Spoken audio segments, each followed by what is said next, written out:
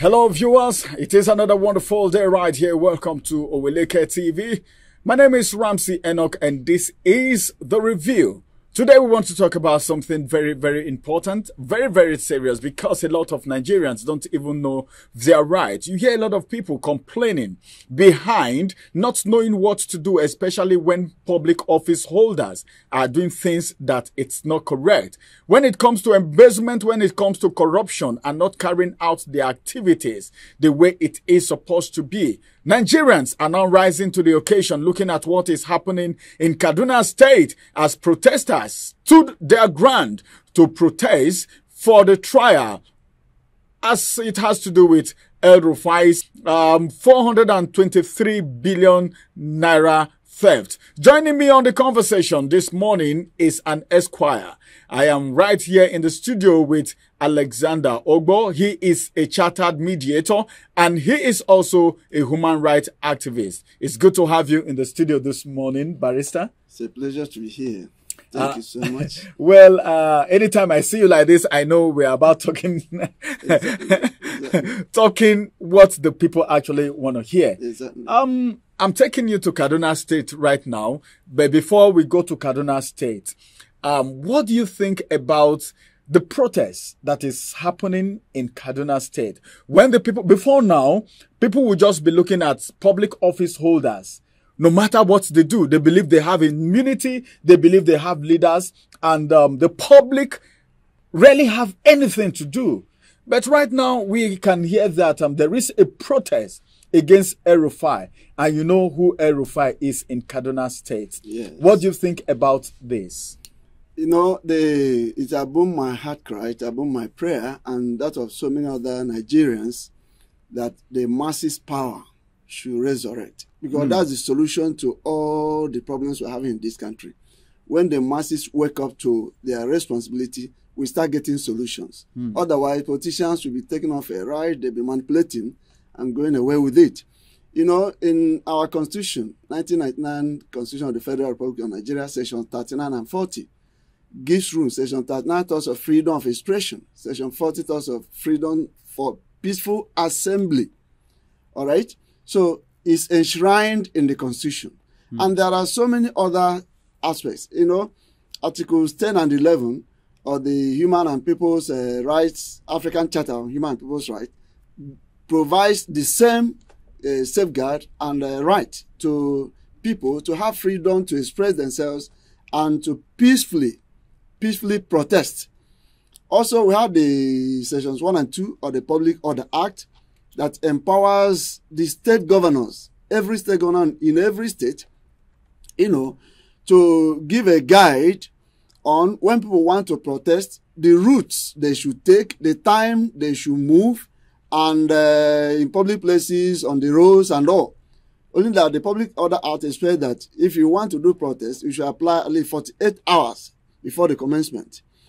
But you know, most of the time when people apply to protest, most of the governors will not sign and yes, allow They won't sign because they, will not. they know it's against them. So yes. they won't sign. Their hands are not clean. So sometimes. just like just like uh, the police act also goes against protest. But the police act, the Supreme Court has ruled, is even the Public Order Act is uh, subject to the authority of the constitution. The constitution is over and above these ones. Mm. Constitution gives that guarantee. The, the emphasis is on peaceful protest. But what is expected of uh, the police and other security agencies is to safeguard the people, to ensure that they are not attacked, they are not harmed, and also to guide them to do it peacefully, but not to stop them. You know, so it is important for Nigerians to wake up and seize this right. That's the power of the masses. And that's the solution to the challenges we're having. If the masses do not exercise this right, the society can never be right. It can never. Because politicians will keep on doing evil and be getting away with it. Hmm. So that is exactly what is going on. That's, you know, uh, on February the 2nd, uh, women backers in Kano State protested against the high cost of flour for baking. You know, uh, 5th February this year also, we saw massive protests in Minna, Niger State, because of the economic crisis. And a few weeks after, there was one in Oshogbo, there was in Ibadan, there was in Suleja, there was in Lagos. There were these protests, apart from uh, the effort made by the Nigerian Labour Congress. These are awakened developments to help the leader to sit up and get things done right. Like I always say, our leaders keep telling us we should tighten our belt. We have been tightening our belts right from the military era. Now we don't have waist to put a dress on. Not to talk of fixing a belt. yes, our waists have been cut off by the belt we have been tightening over the yes. So we need to shout, otherwise we are dead. Mm. Look at how the economy is. The cost of things worsen every day. Every is is unchecked. it's worse than spiral. But but, but, but, but barrister, as it yes. is right now, you know, a lot of times these protests happen, and um, the result of this protest uh, seems to be very uh, insignificant. So, what do you think? Is there anything that can be done? Can uh, is there anything that can be done to give this protest more backing? Because they are protesting in Kaduna State now.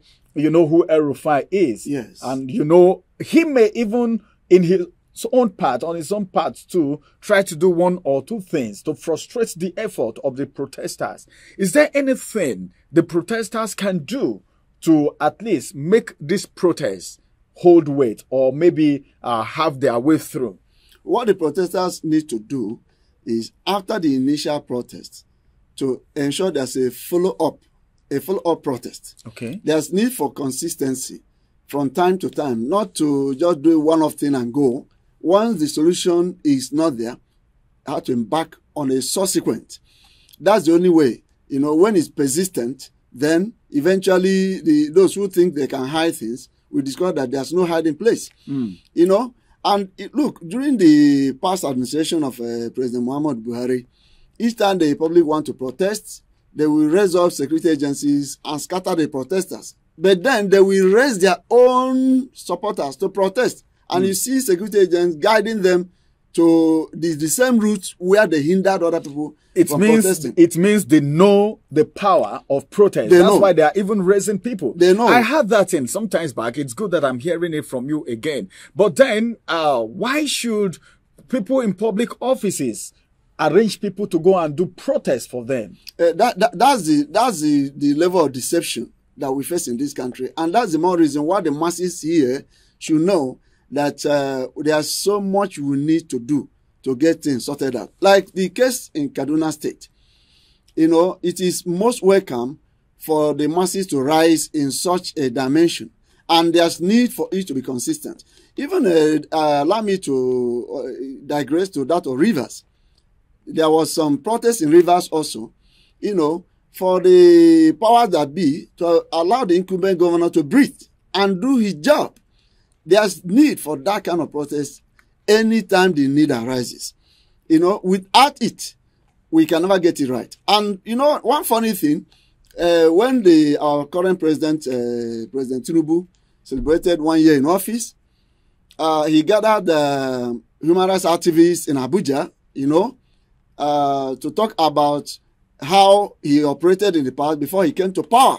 Mm. And uh, Senator Shehu Sani, former senator from Kaduna State, now in his contribution said that Tinubu was the father or is the father of protest in this country.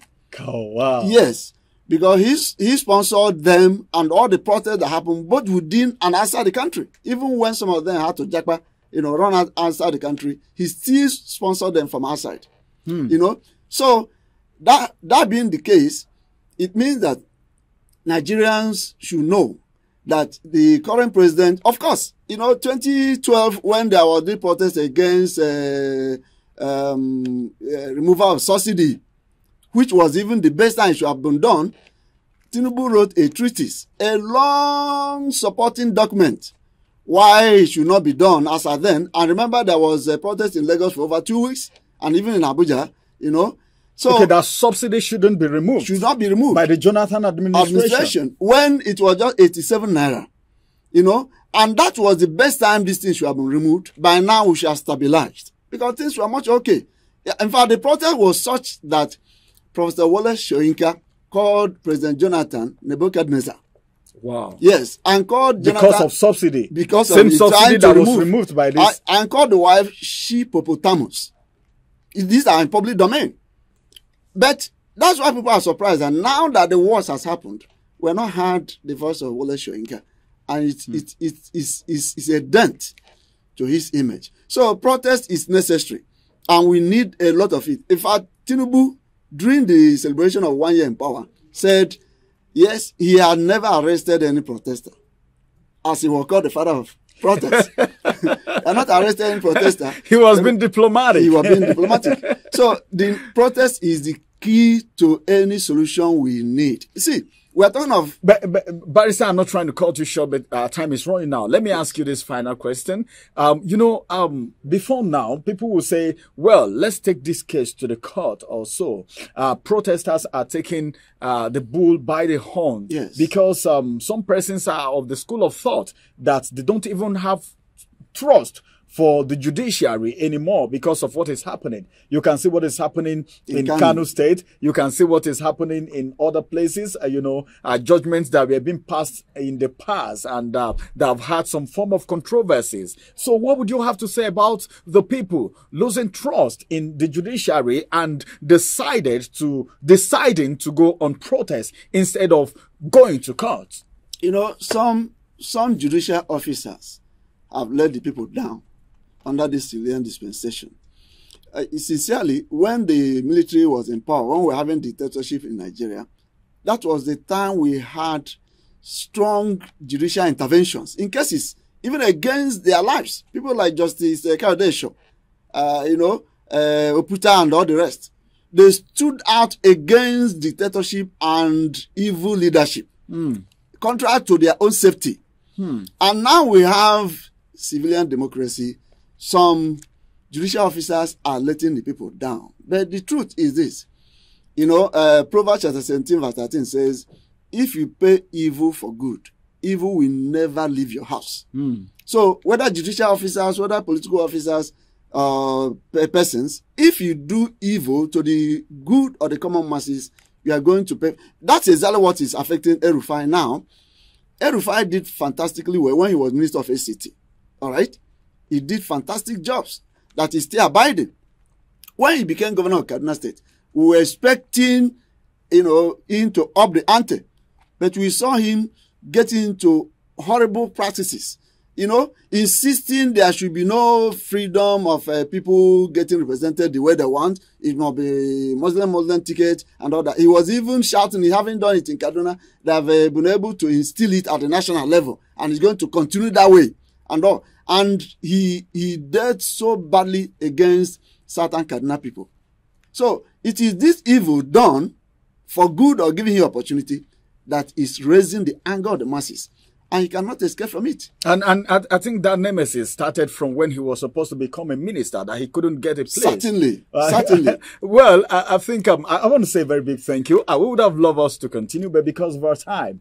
And one good thing is the fact that uh, Esquire is always on ground when we beckon on him. And uh, I'm so glad that you are here today. Well, this revelation is so much, this explanation, this information is so detailed, and this will go a long way helping Nigerians. A lot of Nigerians never knew that protesting is part of their right and the processes to go if they really want to protest and the consistency that is required for it to have effect. I think personally, I've learned so much and I believe the viewers out there have also learned something this morning. Once again, thank you, Esquire, for coming around. It's a pleasure. Thank you so much. Oh, well, this is going to be the size of the review for this morning. We've learned something. Let's put it into practice. If the House of Rep member is not doing well, go to the uh, assembly and protest. Go to the House of Rep and protest. Protest wherever you are. Anybody that's not doing fine, you have the right to call them to order via protest and other ways. My name is Ramsey Enoch. I'll come on your way again.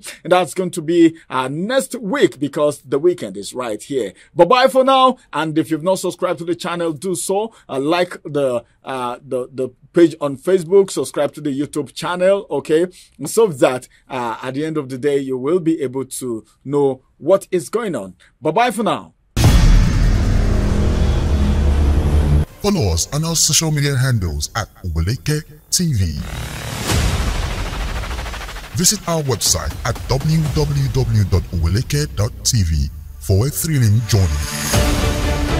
Oweleke TV, Rising Star at the Fairground.